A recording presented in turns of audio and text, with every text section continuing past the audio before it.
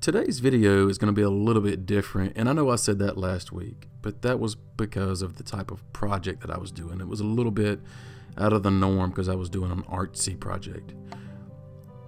But today we're going to be not really working on a project. We're making something, but that's not what this video is about. Uh, today we're going to be working on uh, something that that's going to actually give my, my kids, my two oldest boys, a, a sense of accomplishment you know, we're making drill bit holders uh, for drill bits that you know sat on a shelf on my drill charging station, and we're going to mount these holders on the side of the station uh, so they can easily be seen and uh, readily accessible.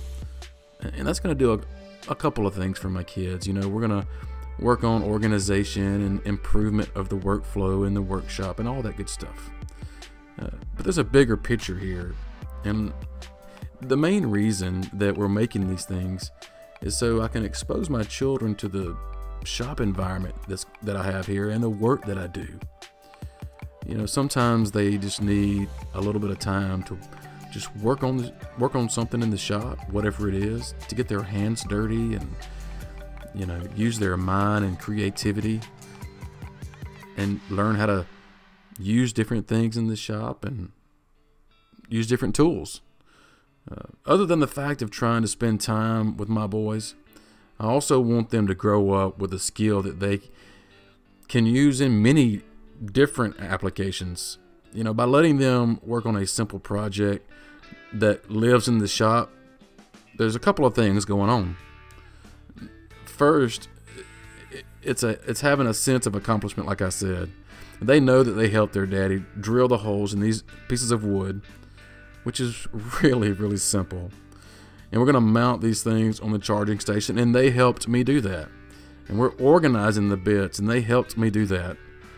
And uh, that alone gives a kid the confidence it takes to try something else. You know, the second thing is the sight of the drill bit holders in use and knowing that they created something useful with their hands ho- hopefully that feeling will stick with them and they'll want to do more. Uh, see, this is a, a bigger picture and not just a shop session.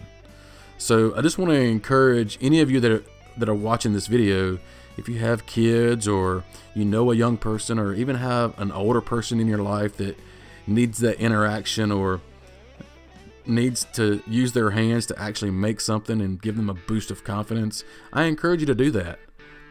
You don't know what you will do for someone until you take the time to spend just a little bit with them. So, you know, just do the best you can and share the knowledge that you have in woodworking. It may seem like something simple, but you can leave a lasting impression on someone by taking the time to teach them something new and share what you know and what you have. So that's what this video is really about. I wanted just to take the time to to do this video. I know it's not going to be a popular video. I mean, these drill bit holders probably it's probably not a sought after project, and that's okay. Because the few that actually hear this and if we can, you know, share the way we feel about the work that we do and the passion that we feel when we're in the shop doing woodworking, if we can just pass that along to just one person, then you know we've done our job. So, I just want to encourage all of you guys and gals to get out in your shops and just share what you know and pass it on.